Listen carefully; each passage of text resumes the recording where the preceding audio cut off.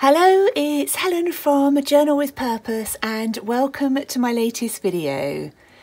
Today I thought I'd share the process I go through when I'm trying to come up with ideas for how I want to create and document. And it's one of the questions I get asked the most is when you sit down, where do your ideas come from and how do you get started? So one of the first things I tend to do is try and decide the colours that I want to use in my journal spread because that helps to kind of focus me a little bit more than just looking at all of my supplies and all of the options out there. And often I will use a colour wheel and just kind of decide which ones I want to work with. So in, I think it was on Patreon this week, I think it was, I shared it from some journal prompts I set earlier in the month was to create some pages using blue and green as the main colours. So that's something I'll often do is just look for which colours I really want to work with. And today I've decided that I'd actually like to go for some colours that are opposite each other rather than next to each other on the colour wheel. And I'm going to go for green and pink. And that helps me straight away because I can then start looking through my supplies at things like my washi tapes and my ink pads. Mm, I might use some stickers as well, so I've looked out for some of my pink and green floral and leafy stickers. I've got some little cards here which I might use, a green pen, postage stamps, so that helps me to just get a few supplies close at hand rather than just sitting there kind of looking at everything and not sure where to start. So that's my kind of first tip is pick which colours you want to work with and try out different ones, different combinations each time and then you'll soon get a feel for which colours you really like working with. And the other thing, sometimes I already know exactly what I want to write about, but other times I kind of know that I'm in the mood for doing some journaling, but perhaps don't quite know what I want to write about. If you've got my new book, at the back of every chapter, I've written out lots of writing prompts. So if you do have this, I'd suggest just having a flick through, reading a couple of them, and perhaps just picking a prompt that really speaks to you at the moment. So the one I think I'm going to focus on today is how good are you at treating yourself kindly? Because that's something that's been on my mind quite a lot at the moment and something that I'm really actively working on. So I think that's the prompt that I'm going to work on. There's also tons of prompts on places like uh, Pinterest as well that you could have a look through. But I think it's a really good starting point. Once you've got your colours and a topic that you want to write about, it usually really helps you to get started. The journal that I'm going to be using, I've got a standard size traveller's notebook insert, which I keep inside this vintage light cover from Start Bay Notebooks. The insert that I'm going to be using um, has plain paper in it and it's a Tomoe River paper insert and that tends to lend itself quite well to watercolour and all kinds of other mediums. So that's what I'll be working in today. If you've been following me for a while, you'll know that one of the first things I often do is put some washi tape on my pages. And I really feel that helps to immediately just break up some of that white space a little bit and also can get you started with the colours that you're wanting to use. So I think I'm going to pick those two. I'll see how they look together because they're both quite busy. I might be better off going with something plainer, but I'm going to have a look. And I'm just going to run initially one of the, the green tapes down each side and then probably tear the pink tape and add some of that on top.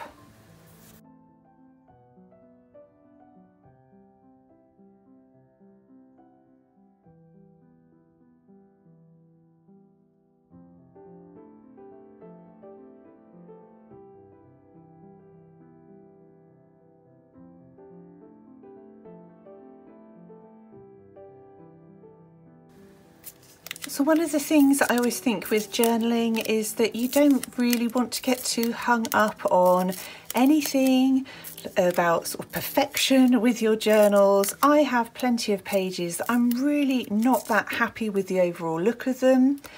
but it will have done something for me that day. That time that I sat down, took some time to create, and also I'll have probably learnt something from it. If I don't like the look of those journal pages, then I'll know not to do that again. So these washi tapes that I'm using are from London Gifties. And because I didn't want it to look too, too busy with those tapes together, I've actually just torn the pink tape along the middle and I'm laying it on top so you've got a hint of that pink coming through without it kind of really overwhelming the green pattern. The next thing I'm going to do, again to help break up this space, is add some collaged pieces to my pages. So I know in, I think it was this pad is predominantly blue, but I seem to remember there's some green sheets in here as well. So I'm probably going to use those and then lots of other kind of neutral tones. So anything from old book pages is always great for this because you know it's going to work well really with any of the colours you've chosen. So I'm just going to start tearing some of them up, placing them on my page. I'm probably going to do a cluster here and here. And once I'm happy with how they're looking, I always mark in pencil just where the corners are so that I can place them back down. And the glue that I'll be using is Pritt Stick and I find that it works really well for kind of your light collage papers.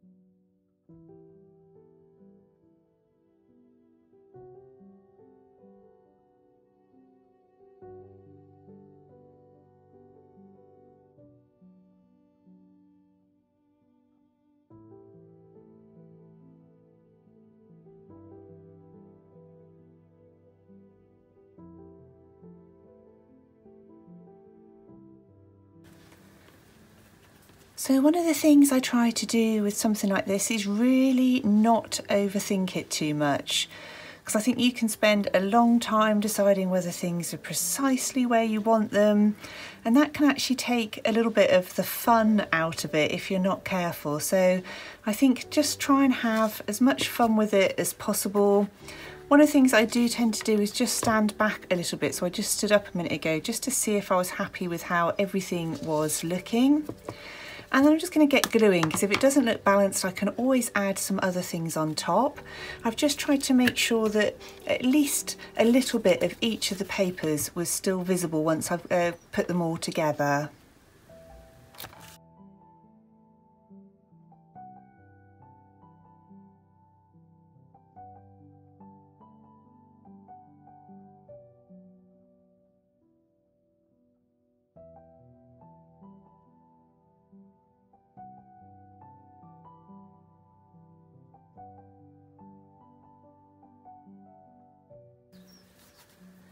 Okay, so I'm really happy with how that cluster's looking and I've got some of the green in there, but I also want to make sure that I bring in some pink as well.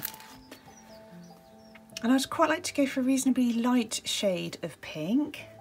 And I think what I might do is use one of these pressed flower stickers.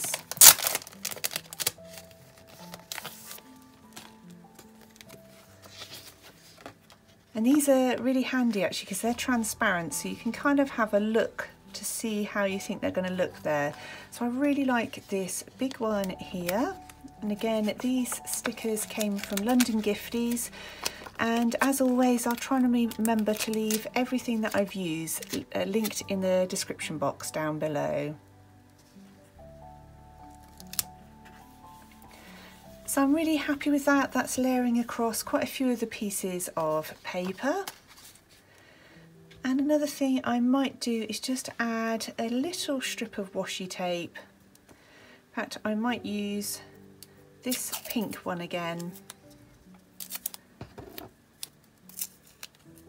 Just tear it along the middle and just add it somewhere just so you've got a little bit of hint of that coming through as well. So that's my first cluster done and then I'm going to go through and do something probably quite similar up here as well.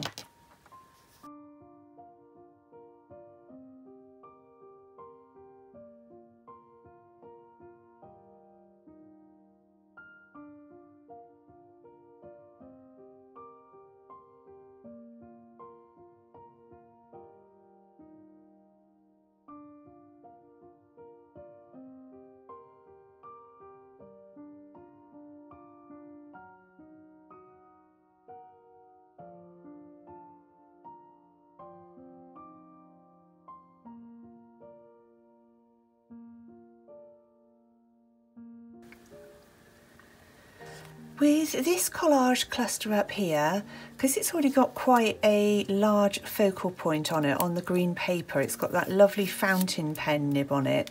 I don't really want to detract from that too much by adding a big flower, but on this washi tape, I've got a really lovely delicate pink floral there, so I think I'm going to add this one on top. This tape has a peel off backing which is really handy because you can kind of cut around them, use them like stickers. And again, the same as the flowers I used, it's completely transparent, the actual tape itself. And I think I might just I'm trim off around the edges of this. And then just have that coming out of the bottom a little bit.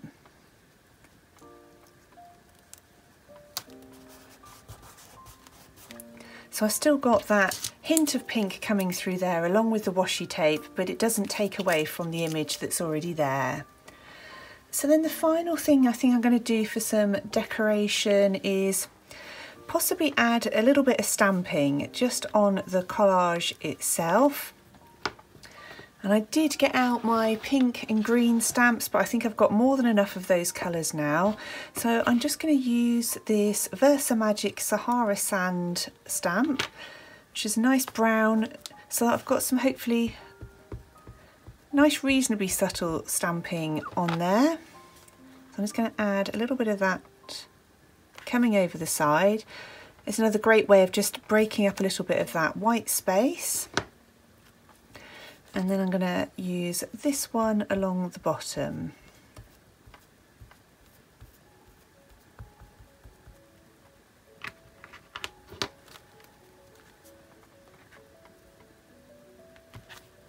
And if you stamp over a couple of the papers, if you're going on top, that looks quite nice because again, it makes it look like it's kind of designed to be there. So that's really most of the decorative stuff done. I think I'll see how I feel once I get writing. But I hope that helps to show you that it really doesn't have to be too hard to get something lovely and decorative. And already to me this feels much easier now to write on because I've got much less space to worry about but still loads of you know, kind of room to be able to write down some of my thoughts and feelings but I'm not just confronted with those blank pages. For my date, I'm going to use a Tombow Fudenosuke brush pen with a firm nib.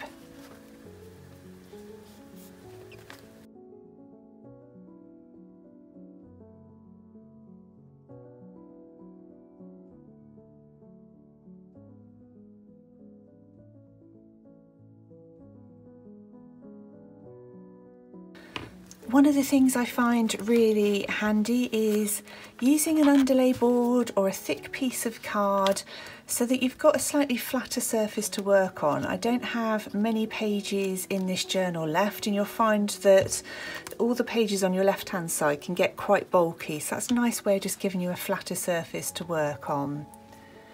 And for my journal writing itself I'm going to be using this TWSBI 580 AL, I believe in pink, rose pink, that came from Cult Pens and I use an extra fine nib.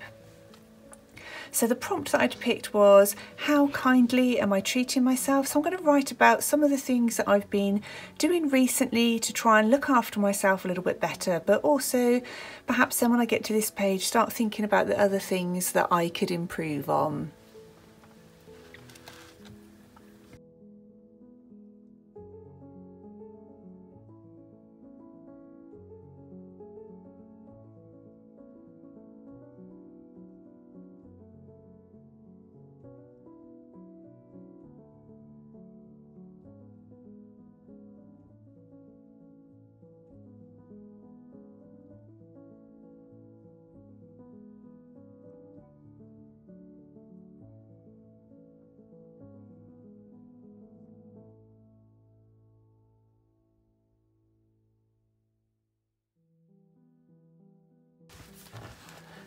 On this page so far, so what I've written about is that I've started making a much better effort to treat myself kindly, both physically and mentally.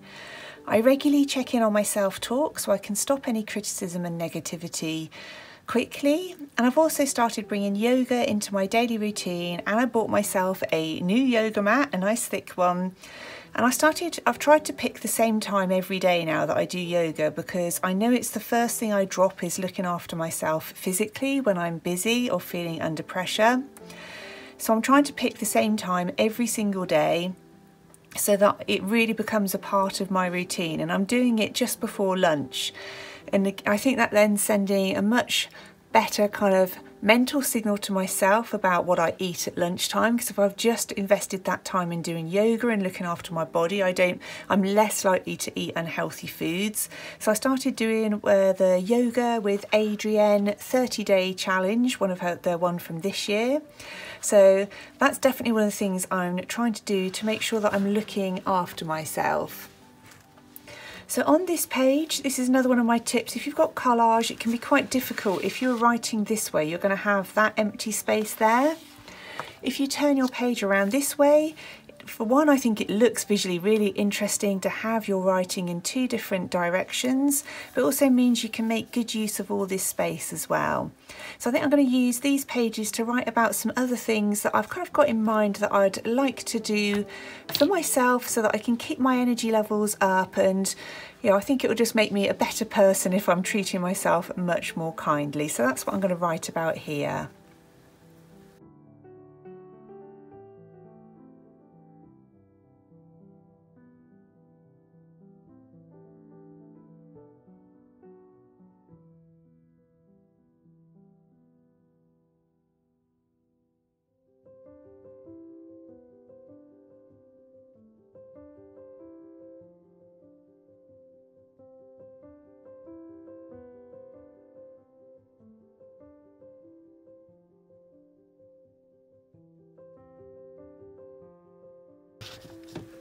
So I've now finished the writing on this page and one of the things I've got in mind is that I'd really like to introduce for myself a monthly nature date.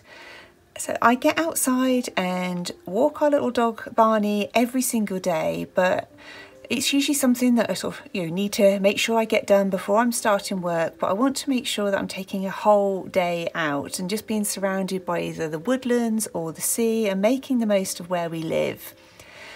And I know the way my routine works at the moment, the last couple of weeks of the month tend to be my busiest because I'm working on my Patreon printables and Patreon video. But the first couple of weeks I've got a little bit of breathing space usually, so I want to start scheduling that in. And that's one of the things I find really helpful about journaling is it forces me to just take a moment and see what's feeling right and what's kind of maybe a little bit amiss and taking some time to write about that in my journal and perhaps make a commitment to myself. So those are my finished pages. I really hope you've enjoyed seeing how I break it down from the creative process to coming up with ideas for things to write about and how I use my journals. And if you decide to recreate or use any of the ideas and you share your journal pages on Instagram, then please do tag me in the photo itself so that I can see what you're up to. I absolutely love seeing other people's journal pages and sharing them up in my Instagram stories. So please do let me know. Thank you ever so much for watching and as always I want to say a huge thank you to everybody who's joined me over on Patreon. I hope you're all doing really really well and I look forward to speaking with you really soon in my next video.